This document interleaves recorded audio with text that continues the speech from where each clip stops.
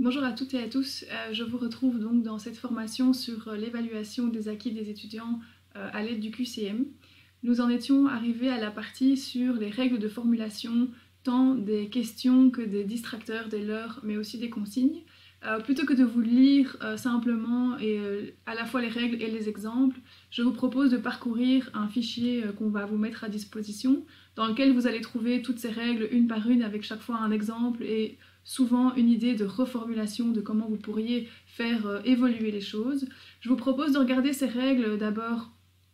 les unes après les autres et puis peut-être de repartir de questions QCM que vous avez déjà euh, formulées pour un examen euh, précédent et de voir dans quelle mesure certaines de ces règles peuvent être appliquées si vous avez pris l'habitude de constamment appliquer ces règles au pied de la lettre ou s'il y avait des questions dans lesquelles vous vous rendez compte que certains indices apparaissent euh, en lien avec l'information que vous allez trouver dans ce document. Si vous n'avez jamais développé d'évaluation par QCM jusqu'à présent, je vous propose alors de faire l'exercice de choisir euh, un acquis d'apprentissage, un niveau de maîtrise et pourquoi pas une notion ou plusieurs notions de votre cours et de faire le test de la formulation des questions sur base des règles que vous allez pouvoir lire dans le document qui suit.